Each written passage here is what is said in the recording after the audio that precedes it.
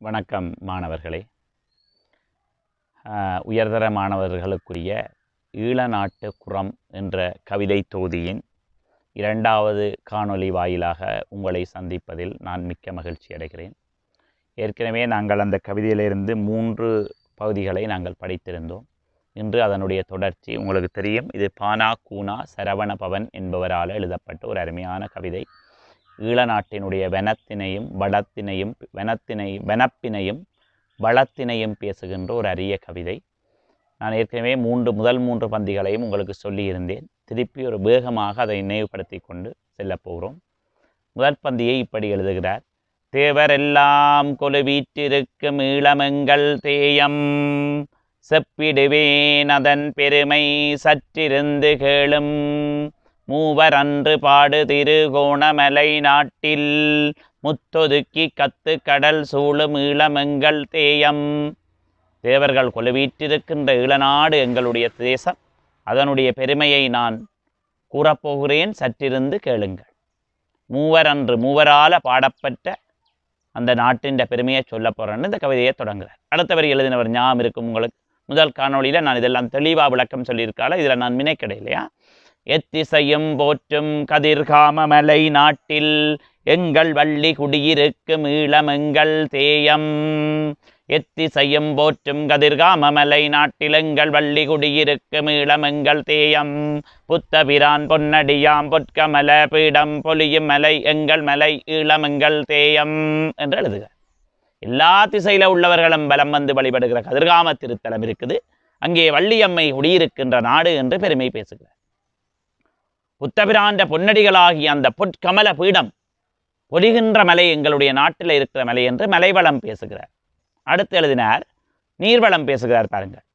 மாவலி கங்கை புனலாம் தாவணியை வீசி மாதிரமெல்லாம் மணக்கும் வாசனையை பூசி காவலரின் கண்மருட்டும் கன்னி எங்கள் தேயம் காசினியில் இவளை போல் கன்னி இல்லை இல்லை. மாவலி கங்கை பாய்ந்து வளமூற்ற நாடப்பா எங்களுடைய நாடு. காசினியில் இந்த நாட்டுக்கு நிகரான நாடு எங்கே இருக்கிறது என்று பேசினேன் ஸோ ஈழநாட்டினுடைய வளம் இயற்கை வளம் இயற்கை எழில் இவையெல்லாம் நீங்கள் சிந்திக்க வேண்டும். ஈழநாட்டினுடைய சிறப்புகள் என்று அந்த கேள்வியை நீங்கள் பார்க்க வேண்டும். அது இறையருளால் வருகிற சிறப்பு இயற்கை வளத்தினூடாக வருகிற சிறப்பு இயற்கை வனத்தின் வனப்பினூடாக வருகிற சிறப்பு என்றெல்லாம் நான் சொல்லியிருந்தேன் அவற்றை நீங்கள் பார்க்க வேண்டும். இப்பொழுது நாலாவது கவிதைக்கு நாங்கள் போக போகிறோம் நான் சொன்னான் இந்த கவிஞர் ஒரு மத இன நல்லிணக்கத்தை இந்த கவிதையிலே நிறுவ முற்படுகிறார். அருமையா சொன்னார் அடுத்த பந்தியை செந்தமிழும் சிங்களமும் ஆய இரு தோழி சேவை செய்யும் ராசகன்னி ஈழமெங்கள் தேயம். அருமையா சொன்னார் குழந்தைகள். என்னண்டு? செந்தமிழும் சிங்களமும் ஆய இரு தே- தோழி சேவை செய்யும் ராசகன்னி ஈழமெங்கள் தேயம். இந்தியரம் இந்தியரம் அக்கை மக்கள் என்றனைக்கும் அன்னை. வந்தனை அல்லாது எமக்கு வேறு சிந்தனை இல்லை என்று எழுதினார். என்னண்டு? செந்தமிழும் சிங்களமும் ஆய இரு தோழி சேவை செய்யும் ராசகன்னி ஈழமங்கள் தேயம். நம்ம நாட்டில் இதானே பிரச்சனை. தமிழற்றியா சிங்களவற்றியா? அதுக்கு நல்ல ஒரு தீர்வு சொன்னார் ப பானா சரவணபவன். அருமையா சொன்னார் ஒரு தீர்வு. என்னண்டாம் செந்தமிழும் சிங்களமும் ஆய இரு தோழி சேவை செய்யும் ராசகன்னி ஈழமங்கள் தேயம். ராசகன்னி ஈழநாடு ஒரு ராசகன்னியாம் அரசலம் குமாரி. செந்தமிழும் சிங்களமும் ஆய இரு தோழி செந்தமிழர்களும் சிங்களவர்களும் தோழிகளாக சேவை புரிகின்ற இந்த ராசகன்னி தான் எங்களுடைய நாடு. அப்போ என்ன சொல்கிறார் ஈழநாடு ஒரு அரசலம் குமாரி. அவளுக்கு சேவை செய்கிற பணிப்பெண்கள் தோழிப்பெண்கள் தான் தமிழர்களும் சிங்களவர்கள். இதுக்கு உண்டே என்ற சண்டையை விடுங்கப்பான்னு சொன்னேன். அப்போ பாருங்க மத இன நல்லிணக்கத்தை எப்படி காட்ட முனைகிறார் என்னென்ன குழந்தைகள்? செந்தமிழும் சிங்களமும் ஆய இரு தோழி. அப்படியே எப்ப சொல்லுங்க? செந்தமிழர்களும் சிங்களவர்களும் தோழிகளாக சேவை புரிகின்ற ராசகன்னி அரசகுமாரியே எங்களுடைய தேசம். இந்தியரும் அக்கை மக்கள் இந்தியர்களை எம் அக்கை மக்களாக எங்களுடைய அக்காவின் பிள்ளைகளாக அணைக்கின்ற நாடு. அந்த நாட்டை வந் வந்தனை அல்லது எனக்கு சிந்தனை வேறில்லைண்ட அந்த நாட்டை வழிபடுவதை தவிர வந்தனை செய்வது. எனக்கு வேற எண்ணம் எதுவுமே இல்லை என்று எழுதினார். எவ்வளவு அருமையாக சொல்லி கேட்டாங்க என்னென்ன குழந்தைகள் வெரி சிம்பிள் இந்த பந்தி. செந்தமிழும் சிங்களமும் ஆய இரு தோழி சேவை செய்யும் ராசகன்னி ஈழமெங்கள் தேயம். தமிழர்களும் சிங்களர்களும் தோழிகளாக சேவை புரிகின்ற இராச கன்னிதான் எங்களுடைய தேசம். இந்த தேசத்து இந்தியர்களை எம் அக்கை மக்களாக அக்காவின் பிள்ளைகளாக அனைத்து மகிழ்கின்ற நாடுதான் என்னுடைய தேசம். இந்த நாட்டை வந்தனை அன்றி வழிபடுவது அன்றி எனக்கு வேறு சிந்தனை எதுவும் இல்லை. அப்ப ஈழநாட்டின் சிறப்பு என்ன சொல்லுங்க ஆபம் பிள்ளைகள்? செந்தமிழர்களும் சிங்களவர்களும் தோழிகளாக ஒற்றுமையாக வாழுகின்ற நாடு என்று பேசுகிறார். இந்திய மக்களை அக்கா உடன்பிறப்புகளாக அனைத்து மகிழ்கின்ற நாடு. இப்படி ஈழநாட்டின் சிறப்பை பேசுகிறார். இது மத இன நல்லிணக்கம் அல்லவா குழந்தைகள்? இன்னொரு செய்தியையும் நான் சொல்லிக் கொள்றேன் பாருங்கோ. வந்தனை அல்லாத சிந்தனையில் எனக்கு வேற இந்த நாட்டை வழிபடுவதை தவிர எனக்கு வேறு எண்ணம் இல்லை என்று சொல்வது வணங்குவதை தவிர எனக்கு வேற எண்ணம் இல்லை என்று சொல்றது அவருடைய நாட்டு பற்றி அல்லவா வெளிப்படுத்துகிறது. அருமையான பந்தியாக அந்த நாலாவது பந்தியை அமைத்திருக்கிறார் எப்படி பிள்ளையால் செந்தமிழும் சிங்களமும் ஆய இரு தோழி சேவை செய்யும் ராசகன்னி ஈழமங்கள் தேயம் இந்தியரம் அக்கை மக்கள் என்றனைக்கும் அன்னை வந்தனை அல்லாது எமக்கு வேறு சிந்தனை இல்லை. அப்போ ஈழநாட்டின் சிறப்பு மத இன நல்லிணக்கம் எல்லாம் பேசுகிறார். உருவகிக்கிறார். ஈழநாடை ஒரு ராசகன்னியாக உருவகிக்கிறார். அவர்களுக்கு அந்த ராசகன்னிக்கு பணிவிடை செய்கின்ற தோழிகளாக சேவகம் செய்கின்ற தோழிகளாக தமிழர்களையும் சிங்களவர்களையும் உருவகித்திருக்கிறார். இந்தியர்களை அக்கை மக்களாக உருவகித்திருக்கிறார். உருவகங்கள் அருமையாக கையாண்டிருக்கார் குழந்தைகள். அடுத்த கவிதையை இப்படி எழுதுகிறார். அடுத்த பந்தி இப்படி போடுறார். பொற்புதையல் கண்டெடுப்பார் போல் சில மந்தி. பொற்புதையல் கண் கண்டெடுப்பார் போல் சில மந்தி. பூமியுள் வெடித்த பலா பொற்சுளையை கீண்டும். என்ன எழுதுகிறார் பொற்புதையல் கண்டெடுப்பார் போல் சில மந்தி. பூமியில் பூமியுள் வெடித்த பலா பொற்சுளையை கீண்டும்.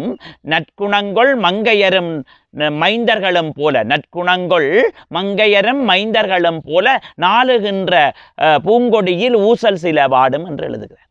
என்னண்டு?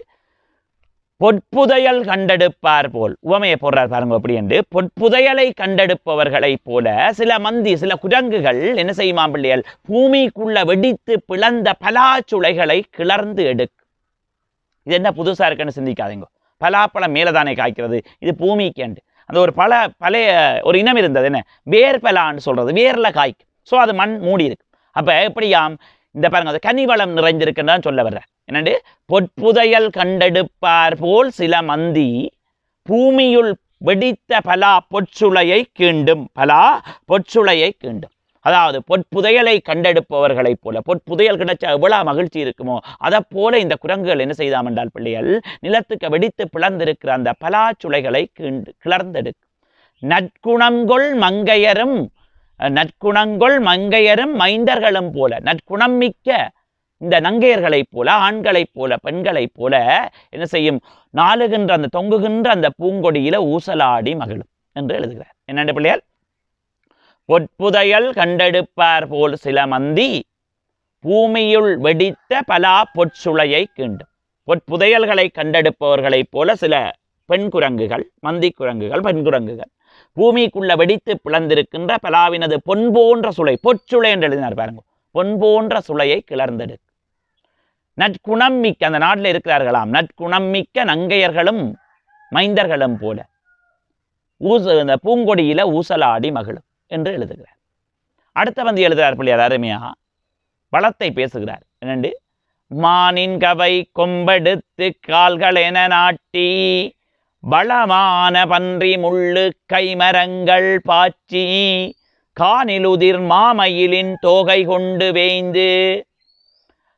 என்னண்டு பிள்ளையார் மானின் கவை கொம்பெடுத்து கால்களென நாட்டி வளமான பன்றி முள்ளு கைமரங்கள் பாய்ச்சி காணிலுதிர் மாமயிலின் தோகை கொண்டு வேய்ந்து கட்டி அதனுள் இருந்து சிற்றில் சில பாடும் என்னடு பிள்ளைகள்?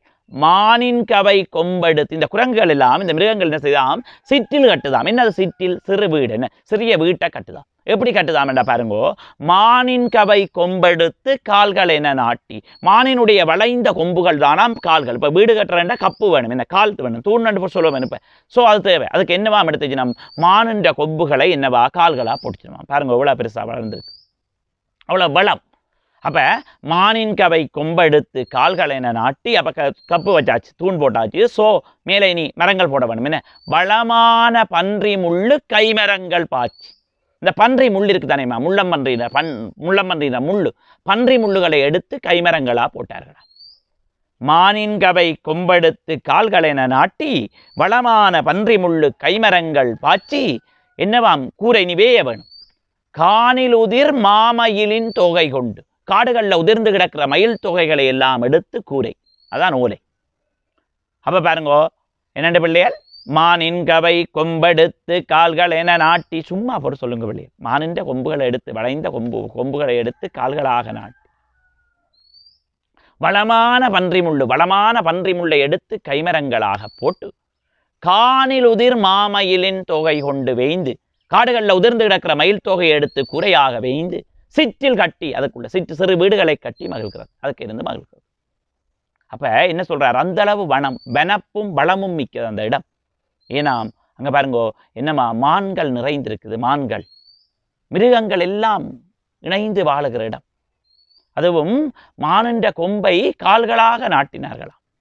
பன்றி முல்லை கைமரங்கள் அவ்வளவு ஹெல்த்தியாக வளர்ந்துருக்காங்க. அவ்வளவு உணவு எல்லாம் உண்டு.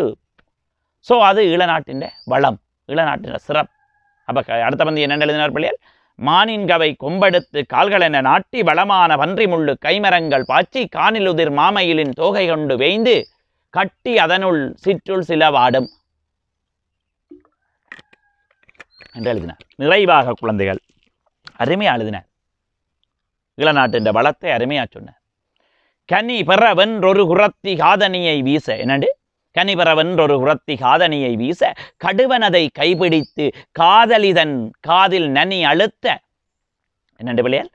கனிபரவென்றொரு குரத்தி காதனியை வீச கடுவனதை கைபிடித்து காதலிதன் கழு காதில் நனி அழுத்த. கண்ணி நின்று நீர்வடியும் வாயில் நகைவரும் அக்குரங்கிருக்கும் இளமங்கள் தேயம் என்று எழுதினார். என்னண்டு பிள்ளைகள் கனி பெறவென்றொரு குரத்தி காதனியை வீச ஒரு குரமகள் இருந்தால் அவள் என்ன செய்தாலாம் ஒரு மரத்தில் ஒரு கனியை பிடுங்க வேணும். நீங்கள் என்ன செய்வீர்கள்? கல் எடுத்து அறிவியல் தறி எடுத்து அறிவியல் அவள் என்னத்தை கட்டி எறிஞ்சாலாம் காதில் இருந்த தோட்ட கலட்டி எறிஞ்சாலாம் ஸோ இதில் ரெண்டு செய்தி. பாருங்கோ நகையை எரிஞ்சு விளையாடுற அளவுக்கு நம்முடைய ஆக்கள் வளமாக இருந்திருக்காங்க. என்ன செய்கிறது எல்லாரும் ஆட்டையை போட்டு பிச்சைக்காராக்கிட்டாங்க. அது கிடக்கிடமாங்க அரசியலை கலைக்க வேணாம். என்ன? அப்ப கனி பெறவென்றொரு குரத்தி காதனியை வீச அப்போ காதில் இருந்த தோட்ட கலட்டி எரிஞ்சாலாம் கனியை புடுங்குற அளவுக்கு விழுத்துற அளவுக்கு எவ்வளவு வெயிட்டா போட்டிருக்கார்கள் பாருங்க. அப்ப கனி பெறவென்றொரு குரத்தி காதனியை வீச அப்ப ஒரு குரமகள் என்ன செய்தால் கனியை பறிப்பதற்காக தன் தோட்ட காட்டி வீசினார். கடுவன் அதை கைப்பிடித்து அந்த மரத்தில் இருந்த கடுவன் ஆண் குரங்கு என்ன செஞ்சுட்டு அதை கை பிடிச்சிச்சு. அதை கைப்பிடித்து காதலி பக்கத்துல தன் காதலி இருக்கா? காதலி தன் காதில் நனி அழுத்த காதலின்ற காதலை அப்படியே அழுத்தி விட்டுச்சு தோட. கண்ணினின்று நீர் வடியும். அந்த குத்தின இதில் கண்ணிலேருந்து நீர் வடிதா அந்த பெண் குரங்கு. வாயில் நகை வரும் தனக்கும் தானும் தோடு நகை சிரிப்பு வரும். அக்குரங்குகள் வீற்றிருக்கின்ற ஈழநாடுதான் எங்களுடைய தேசம் என்று எழுதினேன் என்னடா பிள்ளையார் கனி பெறவென்றொரு குரத்தி காதணியை வீச கடுவன் அதை கைபிடித்து காதலிதன் காதில் நனி அழுத்த வாயில் நின்று நகை வரும் கண்ணில் நீர்வடியும் கண்ணில் நீர்வடியும் வாயில் நகை வரும் அக்குரங்கிருக்கும் ஈழமங்கள் தேயம். ஒரு குரத்தி கனிகளை பறிப்பதற்காக தன் காதணியை கலட்டி வீசினான். ஆண்குரங்கு அதை பற்றி பிடித்து தன்னுடைய காதலியின் காதில் அழுத்தியது.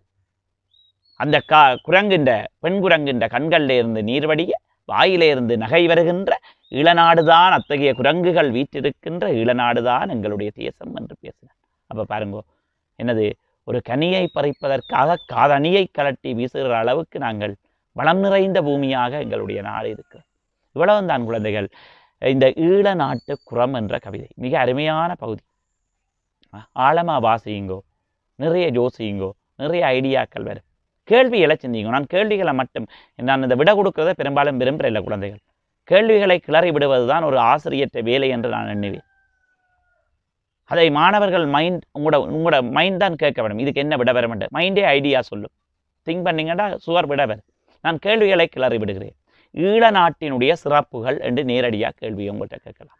அல்லது ஈழ நாட்டின் இயற்கை வளம் என்று. அப்போ சிறப்புகளுக்கு சிலது இயற்கை வளமாக இருக்குது இல்லை அப்போ தேவர் வீட்டிற்கு தான் நாங்கள் இயற்கை வளம் என்று சொல்ல முடியாது. மூவர் பாடினது இயற்கை வளம் அல்ல. அது இறையருளால் கிட்டிய சிறப்பு.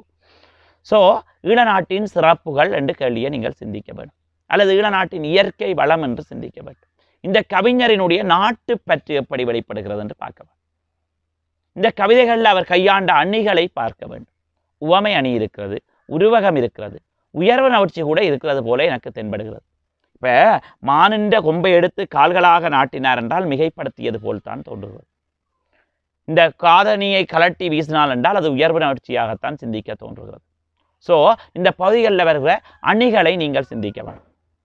அப்போ குழந்தைகள் ஒன்று சொன்னான் இளநாட்டின் சிறப்பு கவிஞற்ற நாட்டுப்பற்று இந்த கவிதைகளில் கையாளப்பட்டிருக்கிற அணி போன்ற பல்வேறு கேள்விகளை நீங்கள் சிந்திக்க வேண்டும். இத்தோடு நாங்கள் இந்த ஈழநாட்டு குரம் என்ற இந்த கவிதை பகுதியை நான் நிறைவு செய்கிறேன். பயனுடையதாக இருந்தால் மற்றவர்களோடும் பகிர்ந்து கொள்ளுங்கள் குழந்தைகள். வளமையாக சொல்கிற செய்திதான். குறையிருக்குமாக இருந்தால் என்னிடம் சொல்லுங்கள். நிறைவிற்குமாக இருந்தால் ஊருக்கு சொல்லுங்கள். தமிழால் வைய தலைமை கொள்வோம். நன்றி. வணக்கம்.